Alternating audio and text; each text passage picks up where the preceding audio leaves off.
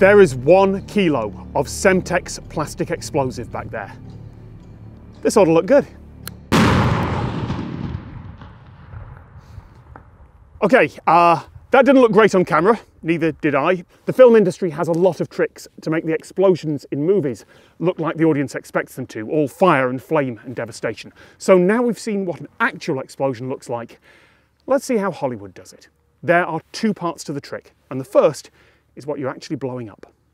We've just blown up one kilo of Semtex 1A, which is a PETN based plastic explosive. Now that's real military explosive.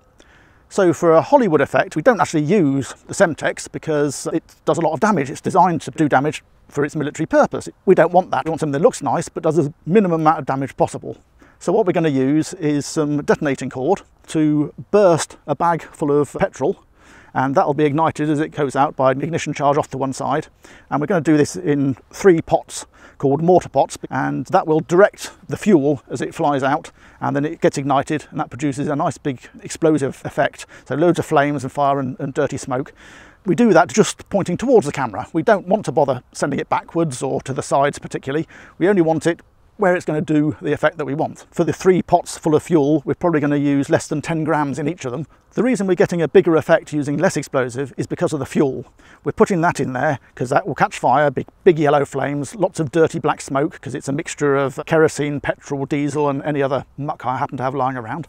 Those are in plastic bags in front of the explosive charge. The explosive charge is just there to propel the fuel out, vaporize it, make a big cloud of it, which can then be ignited. So the visual effect is from the cloud of fuel igniting, and the explosive is just used to create that cloud. This is detonating cord. It's a thin plastic tube with some fibre winding inside it, but down the very centre it's powdered PETN, pentaethyl tetranitramine, a high explosive, and when this stuff goes off, it will detonate along its length at about six kilometres a second, so it's pretty powerful. But what we're going to do for the Hollywood effect is to reel it up and make like little flat pads of it. When that detonates, the blast from it will fracture the plastic bag and spread the fuel out and create our cloud of vapour that we want to ignite.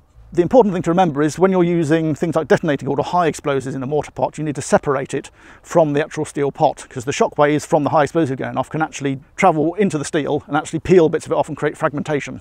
So you need to put a lump of foam between the explosive and the mortar pot to make sure that it doesn't break up and damage the actors you might have close by. With all the explosives in place, the second trick is how you film it. By moving the camera back and zooming in, you make it look like your actor is much, much closer to the explosion, and it means the whole frame is filled up while everyone's still at a safe distance. Then you shoot in slow motion, you make the explosion seem even longer by shooting from multiple angles and repeating it several times, and you use all the cinematic lens and colour tricks you can to make it look, well, more cinematic. And you tell your actor not to flinch.